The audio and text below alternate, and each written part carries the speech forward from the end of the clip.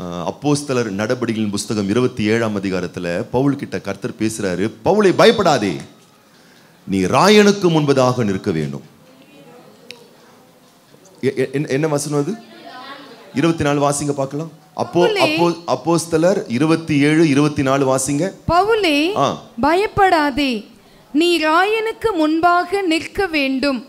இதோ உன்னுடனே கூட யாத்திரை பண்ணுகிற யாவரையும் தேவன் உனக்கு தயவு பண்ணினார் என்றான். கவனிங்க வாழ்க்கையில் நீங்க எந்த சூழ்நிலையில் இருந்தாலும் கையில வருமானம் சரியா இல்லையே.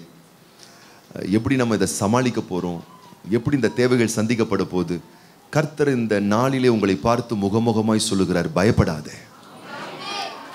குடும்பங்களை பயப்படாதீர்கள் பிள்ளைகளை பயப்படாதீர்கள் உறவுகளை பயப்படாதீர்கள்.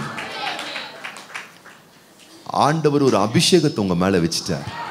என்ன தெரியுமா? நீங்கள் ராயனுக்கு முன்பாக நிற்க வேண்டும். அப்படின்னா ராயன் அவன் ராஜா. ராயன் என்றால் ராஜா. பக்கத்தில் பார்த்து கேளுங்க நீங்க ராஜாவுக்கு முன்னாடி போய் நின்ற முடியுமா? பிரைம் மினிஸ்டர் முன்னாடி போய் நீங்க நிற்க முடியுமா? உங்களால முடியாது. ஆனால் அதுக்குரிய ஒரு தகுதிகள் கொண்டவங்க நிச்சயமாக போய் நிற்க முடியும். கர்த்தர் சொல்கிற அந்த தகுதியை நான் உனக்கு கொடுத்து உன்னை மேன்மையாக முன்னாடி கொண்டு வந்து நான் நிறுத்துறேன். பயப்படாத. அந்த நிலையில தேவன் வைக்க விரும்புகிறார் உங்களை. அது நல்லா புரிஞ்சுக்கணும் நீங்கள் அந்த நோக்கமும் அந்த அபிஷேகமும் உங்கள் மேலே இருக்குங்க. அந்த ராஜரீக அபிஷேகம் உங்கள் மேலே இருக்குது பிடுங்கிடுவாங்களா அழிச்சிருவாங்களா நல்லா வராமல் போயிடுவோமோ ஏமாத்திடுவாங்களா இதெல்லாம் சில்லறத்தனமான புத்தி. தூக்கி குப்பையில போட்டுருங்க. உன் வளர்ச்சி இந்த உலகமே நினைச்சாலும் தடுக்க முடியாது. உன் உயர்வை இந்த உலகமே நினைச்சாலும் அடைக்க முடியாது. உன் வளர்ச்சியும் உயர்வையும் தேவன் தீர்மானித்து விட்டார். அவர் எழுதி வைத்து விட்டார். உன் லைஃப் அப்படிதான் வரும். உன் லைஃப் ஸ்டைல் அப்படிதான் வரும். பவுலுக்கு பாருங்க புயல் வந்துச்சு தடுக்க முடியல. கொந்தளிப்பு வந்தது தடுக்க முடியல. அதுக்கப்புறம் பாருங்கள் இருபத்தெட்டாம் அதிகாரத்தில் ஒரு தீவுக்கு போகிறாங்க தீவுக்கு போயிட்டு பார்த்தீங்கன்னா பாம்பு போய் கடிச்சிக்குது பாம்பு வந்து இவர் கையை கவி கொண்டது அப்படின்னு வரும் பாம்பு என்ன பண்ணிச்சா? கவி கொண்டுதான் பக்கத்தில் பார்த்துக்கலங்க ஏதாச்சும் கவின்னு இருக்கா அவங்கள பிடிச்சி இழுக்குதுயா நிறைய பேரை நிறைய விஷயம் பிடிச்சி இழுத்துக்கிட்டு இருக்கு. நல்லா தான் இருக்கிறேன். அந்த சன் டிவியில் சீரியல் போடுறானே. அது பிடிச்சி இழுக்குதையா நிறைய பேரை நிறைய விஷயம் பிடிச்சி இழுத்துக்கிட்டு இருக்கு. பவுல்னா தெரியுமா பண்ணாரு? அல்லையிலோயா ஐயா கரெக்டாக சொன்னார் பாருங்க. என்ன பண்ணாரா? இந்த வருஷம் நான் சொல்கிறேன் இழுக்கிறத பிடிச்சி உதறி போட்டுரு. உதறி போட்டுரு. உன்னை பாதிக்குது உன் குடும்ப உறவை பாதிக்குது உன் ஆரோக்கியத்தை பாதிக்குது உன் மனநிலையை பாதி அது யாராக இருந்தாலும் சரி அது எதுவாக இருந்தாலும் சரி உதறி போட்டுரு. உதறி போட்டுரு. அது ஆகாத சவகாசமாக இருக்கலாம் அது என்ன வேணா இருக்கலாம். அது உனக்கே தெரியும். இந்த புதிய வருஷத்தின் துவக்கத்தில் அதை உதறி போற்று ஏனென்றால் நீ ராஜாவுக்கு முன்பதாக நிற்க வேண்டும். அதற்காகவே தேவன் உன்னை சுற்றி இருக்கக்கூடிய உன் குடும்பத்தாருக்கு உன அந்த குடும்பத்தார் மூலம் உனக்கு தயவு பண்ணி இருக்கிறார் தேவன். உனக்கு தேவன் கொடுத்திருக்கிற கிருப தயவு எல்லாம் எதுக்காக தெரியுமா? பக்கத்தில் பார்த்து சொல்லுங்க இந்த வருஷம் எதுக்கு தெரியுமா? கிருப எதுக்கு தெரியுமா? பாதுகாப்பு எதுக்கு தெரியுமா? இந்த ஆராதனை கூட எதுக்கு தெரியுமா? இந்த வார்த்தைலாம் கூட எதுக்கு தெரியுமா? நீயும் உன் குடும்பமும் ராஜாவுக்கு முன்னாடி நிற்க வேணும். இல்லைன்னா இது தேவையே இல்லை. இந்த கூட்டம் தேவையில்லை இந்த பிரசங்கம் தேவையில்லை சத்தியம் தேவையில்லை வார்த்தை தேவையில்லை. நாம் நம் குடும்பங்கள் அந்த மகிமைக்குள் இருக்க வேண்டியிருக்கும். புயல் தடுக்கலை. பசி பற்றாக்குறை தடுக்கலை. பாம்பு தடுக்கலை. பாம்பு பிடிச்சதுக்கப்புறமா அந்த மனுஷர்லாம் சொல்கிறாங்களாம் சுற்றி இருக்கிற மனுஷருங்களாம் அயோக்கிய பேர் வழியாக இருப்பான் போல் இருக்குது. கொலை பாதகனா இருப்பான் போல் இருக்குது. என்ன பண்ணிட்டு வந்தானோ தெரியலையே. இவனுக்கே பிரச்சனை வந்துக்கிட்டு இருக்கு. பக்கத்தில் பார்த்து கேளுங்க பேசுகிறாங்களா ம் ம் ம் ம். நீங்கள் நல்லா இருந்தால் ஒன்றும் சொல்ல மாட்டாங்க. கல்லடி நாயடி அந்தடி இந்தடி எல்லாம் கண்ணு காது மூக்கு வச்சு பேசுவாங்க எல்லாம். இன்னைக்கு கூட நிறைய பேர் உங்களை பற்றி பேசலாம். பயப்படவே பயப்படாதீங்க. நீங்கள் இருபத்தெட்டாம் அதிகாரத்தை வீட்டில் போய் வாசிங்க. இல்லை இப்போ கூட அந்த வசனத்தை எடுத்து வாசிங்க. இந்த இருபத்தெட்டில் அந்த மக்கள்லாம் தப்பு தப்பாக பேசின மக்கள்லாம் கர்த்தர் இவனுக்கு ஒரு பெரிய பாதுகாப்பை கொடுத்து கர்த்தருடைய கரம் மேலே இருக்குன்னு நினச்சி அதை பார்த்ததுக்கு அப்புறமா என்ன பண்ணிட்டாங்களாம்? இவன் சாதாரணமான ஆள் இல்லை கடவுளுடைய அவதாரமா இவன் வந்திருக்கான். நான் சொல்லுகிறேன் உங்களை தூற்றினவர்கள் எல்லாம் உங்களை தூக்கி கொண்டாடுகிற காலங்களாய் இனி வருகிற நாட்கள் உனக்கு அமையும். துப்புனவங்கெல்லாம் உன்னை தூக்கி கொண்டாடுவாங்க. தப்பு தப்பா பேசினவங்க தப்பு தப்பா புரிஞ்சுக்கினவங்க தப்பு தப்பா வேதனைப்படுத்தினவங்க.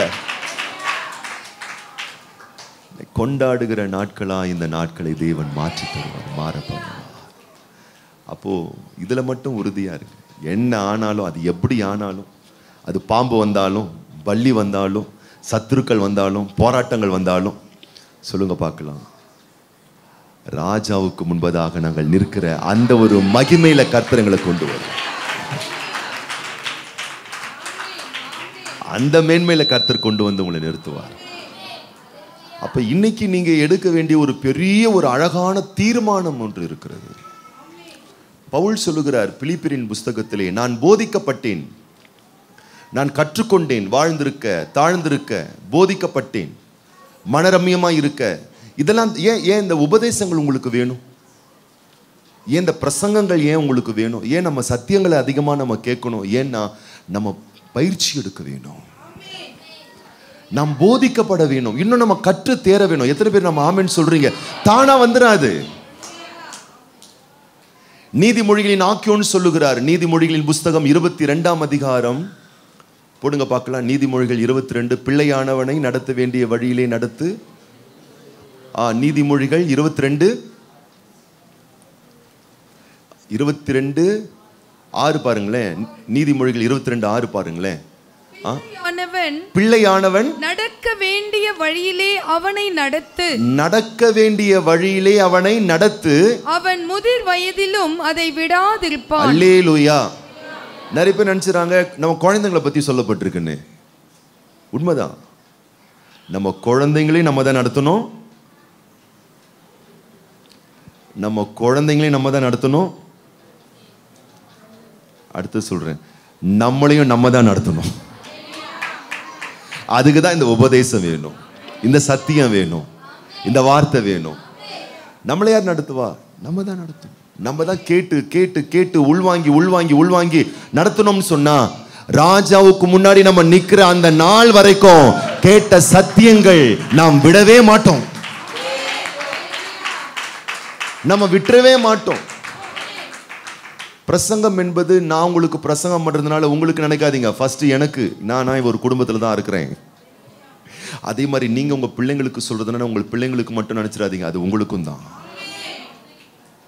நாம் எல்லாருமே வளர்கிற ப்ராசஸில் இருக்கோம். யாரும் சொல்லிட முடியாது. பர்ஃபெக்ட்டு பவுலே சொல்லுகிறார். அப்போஸ் நான் இங்கே பவுல் சொல்லுகிறார்.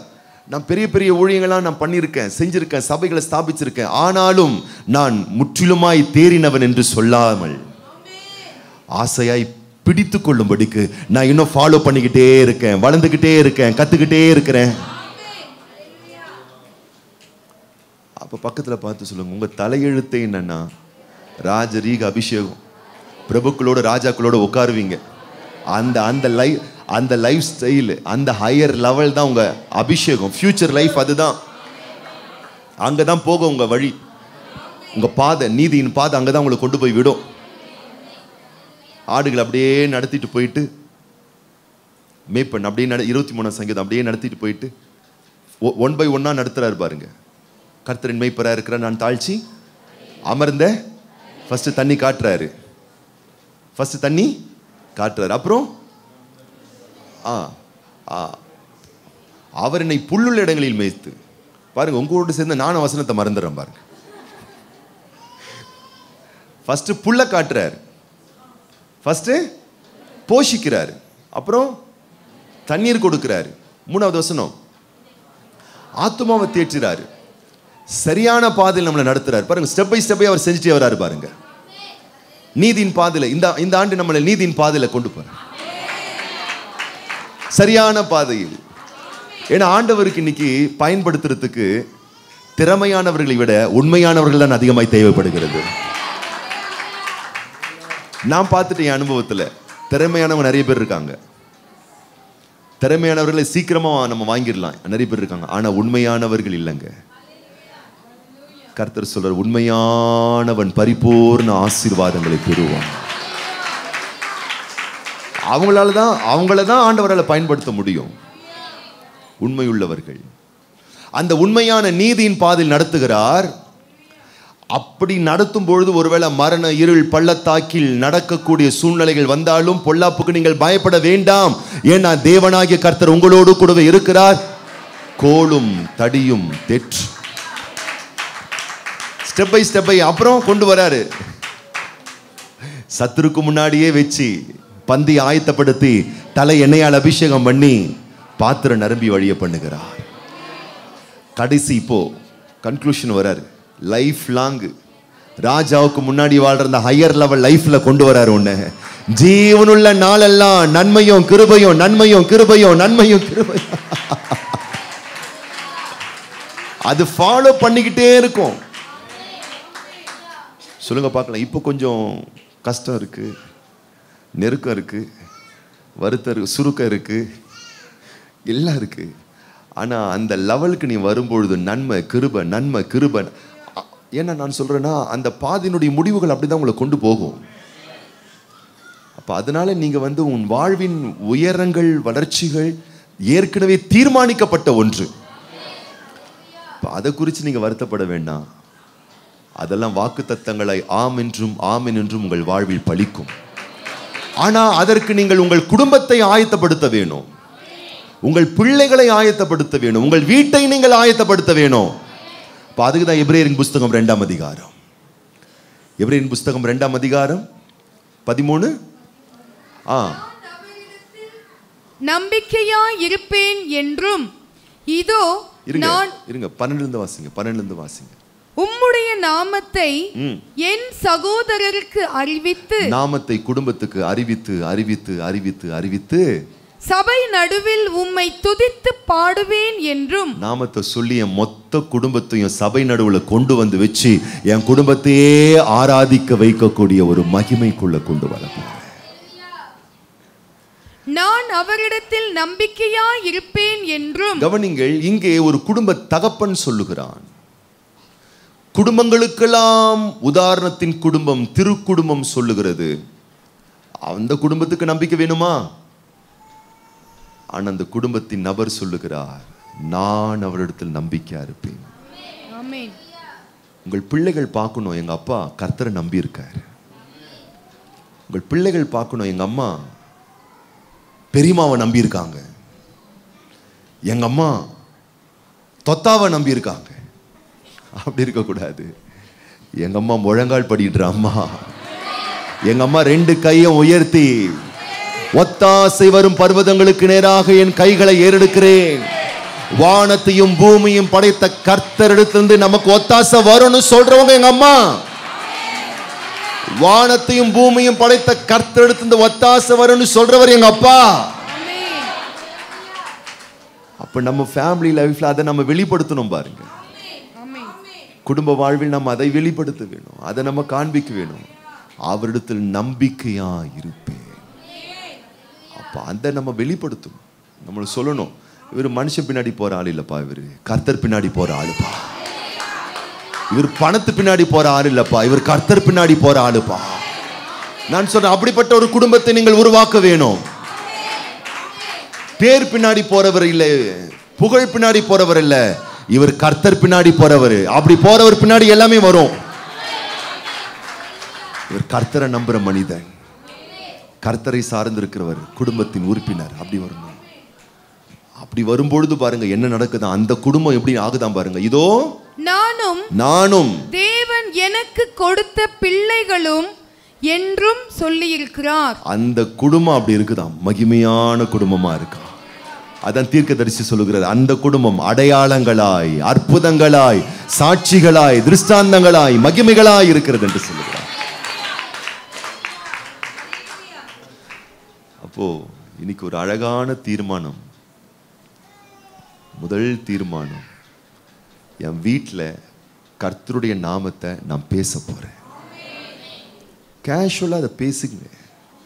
கேஷுவலாக உட்காரும்போது நிற்கும்போது எழும்பும்போது அமரும்போது அப்பாவுடைய அந்த நாமத்தை அந்த மகத்தை நீங்கள் கேஷுவலாக பேசுங்க அப்படி பேசுறது ஒரு பெரிய ஒரு ஒரு மேன்மையை கர்த்தருடைய நாமத்தை சொல்லுகிற அனுபவம். ரெண்டாவது ஒரு பெரிய வைராக்கியம். என் குடும்பத்தை கொண்டு வந்து ஆலயத்துல சபை நடுவில் நான் நிக்க வைப்பேன். பன்னெண்டு போடுப்பா ஸ்க்ரீன்ல பன்னெண்டு போடுப்பா. என் மொத்த குடும்பத்தை என் ஃபேமிலியை சபை நடுவில் நான் கொண்டு வந்து என் முழு ஃபேமிலியை நான் கொண்டு வந்து அதுதான் என்னுடைய தலையாய தரிசனம். அதுதான் என்னுடைய மிகப்பெரிய ஒரு தரிசனம். அதுதான் என்னுடைய மிகப்பெரிய ஒரு உயர்ந்த எண்ணம். என் உடன்பிறப்புகளை மீட்கப்படாத என் குடும்பங்களை என் சொந்தங்களை என் பந்தங்களை கொண்டு வந்து நான் நிறுத்த போறேன். சபை நடுவில் அவர்களோடு கூட சேர்ந்து துதித்து பாடுவேன். அவங்களோடு சேர்ந்து நான் துதித்த ஆண்டவருடைய நாமத்தை நான் மகிமைப்படுத்துவேன். அந்த ஒரு பாக்கியம் அந்த ஒரு மகிமை அந்த ஒரு எண்ணம். மூன்றாவது நான் கர்த்தரை இன்னும் அதிகமாக நான் நம்ப போறேன். குடும்பம் பார்க்கணும். கர்த்தரை நம்புகிற குடும்பம் கர்த்தரை நம்புகிற குடும்பம் கர்த்தரை நம்புகிற குடும்பம். என்னாவது அந்த குடும்பம் அந்த குடும்பத்தின் பிள்ளைகள் அடையாளங்களாய் அற்புதங்களாய் சாட்சிகளாய் தேவனாகிய கர்த்தர் நிற்க பண்ணுகிறார். அப்போ இதெல்லாம் தானாக வந்துடாதுங்க தானாக வந்துடாது அதான் பவுல் சொல்லுகிறார். வாழ்ந்திருக்க தாழ்ந்திருக்க பசியா இருக்க பட்டினியா இருக்க பரிபூர்ணமடைய. இப்படிலாம் இருக்க நான் கற்றுக்கொண்டேன் கற்றுக்கொண்டேன் கற்றுக்கொண்டேன். இதெல்லாம் நீங்க கற்றுக்கொள்ளணும். அதுக்காக தான் சபைக்கு வரணும். ஏன் இந்த ஜபங்கள் வைக்க வச்சிருக்கோம்? பரவாயில்ல இந்த முதல் ஜபமே ரொம்ப சக்சஸ்ஃபுல்லா முடிஞ்சிருக்கு. முதல் ஜபமே வெற்றி. உண்மையா நானே நினைக்கல.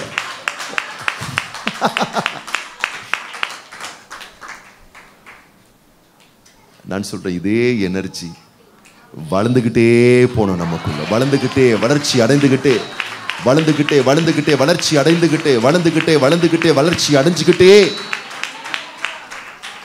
வளர்ந்து வளர்ச்சி அடைந்துகிட்டே போனா முதிர் வயது வர அதாவது நான் ராஜாவுக்கு முன்னாடி நிற்கிற அந்த என்னுடைய வாழ்வினுடைய அந்த மகிமையான ஒரு நிலை வரும் வரைக்கும் இந்த சத்தியங்கள் எனக்கு உதவி செய்யும். இந்த உபதேசங்கள் எனக்கு உதவி செய்யும். இந்த வார்த்தைகள் எனக்கு உதவி செய்யும்.